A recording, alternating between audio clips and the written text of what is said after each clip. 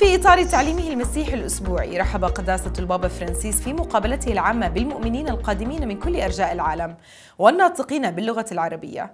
وتحدث في مقابلته التي ألقاها في قاعة القديس بولس بالفاتيكان فقال أيها الأب الأقدس يسر المؤمنين الناطقين باللغة العربية الحاضرين هنا أن يعبروا لكم عن مشاعر الاحترام والتقدير وشكرهم البنوي ويرفقونها بصلواتهم الدائمة إلى الله من أجل قداستكم وخدمتكم كخليفة القديس بطرس. في نهاية هذه المقابلة سنرتل معا صلاة الابانا باللغة اللاتينية. ثم سيمنح الأب الأقدس جميع الحاضرين البركة الرسولية ويشمل بها جميع أحبائكم وخاصة الأطفال والمتزوجين حديثا والمسنين والمرضى والمتألمين بآلام شديدة. وسيبارك كذلك المسابح والأشياء التقوية التي يحملها معه كل واحد منكم. إليكم ملخص التعليم المسيحي لقداسة البابا فرانسيس.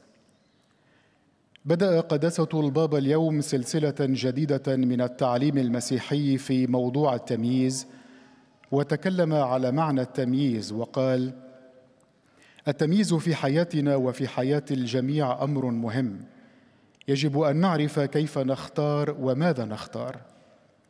لذلك يجب أن نميز بين الخير والشر وهذا أساسي في حياة كل إنسان. وتكلم قدسته على مثل الكنز المدفون في الحقل ومثل اللؤلؤة الثمينة ومثل فرز الصيادين بين السمك الجيد والرديء. في جميع هذه الأمثال كان يجب التمييز للاحتفاظ بالكنز واللؤلؤة والسمك الجيد. تنشأ في الحياة مواقف غير متوقعة وغير مخطط لها حيث يجب أن نعرف أن نميز فنعرف أن نتخذ القرار الصائب.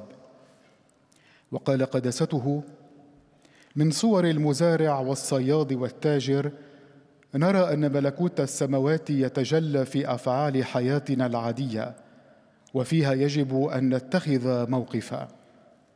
لهذا من المهم جدا أن نعرف كيف نميز إذ يمكن أن تنشأ الخيارات الكبرى في ظروف تبدو للوهلة الأولى ثانوية ثم يتبين فيما بعد أنها حاسمة.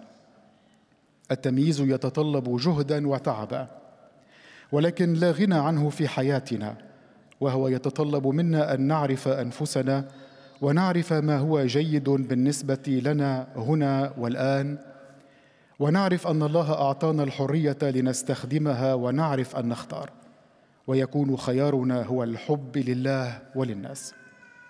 كل هذا يتطلب مني قبل كل شيء علاقة بنوية مع الله الذي يحترم قراري وحريتي.